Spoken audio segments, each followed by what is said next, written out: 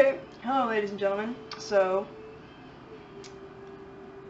I'm here with a new series I like to call Stupidest Reviews on Amazon. And this one's the video game edition. And let me just prepare your brain cells because, holy crap, this is just... Okay. On the first review. Sucks if you like making your own game. Sucks if you like making your own game, you might like this. If you just want to play a game, don't get this. It's that simple. Boring. The game was Minecraft. Now you're supposed to build and fight things. That's the point of the game. If you just want to play a game, this is a game that you can play.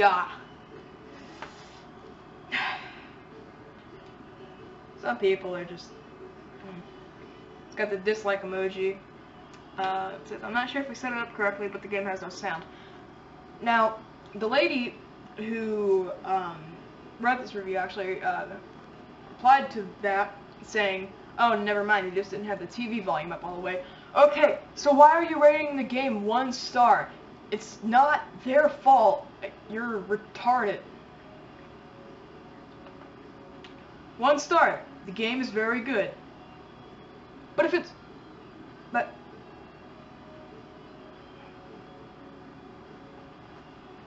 How though? How? I, I, I'm not even... Jo I'm literally... I'm not even joking.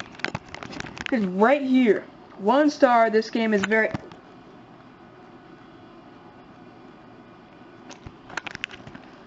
Well, um... One star. Sonic.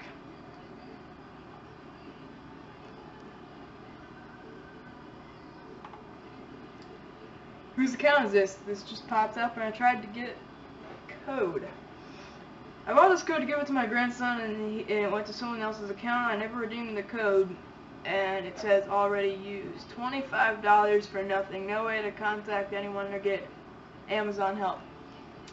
Now, um, this is actually a review for a $10 $10 for, here's here's the first problem. The code was $10. She paid 25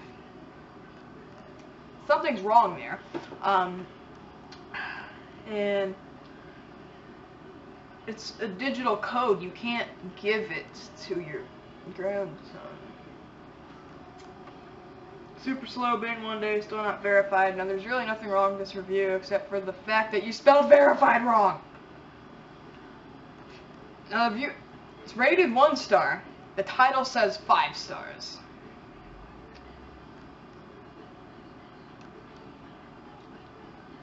If you like this video, give it a thumbs down. Give it a dislike. Not a gift card. Can't be transferred between accounts. Yeah, that's because it's not a gift card. It's a digital code. You can't gift this gift card, maybe. That's because it isn't a gift card.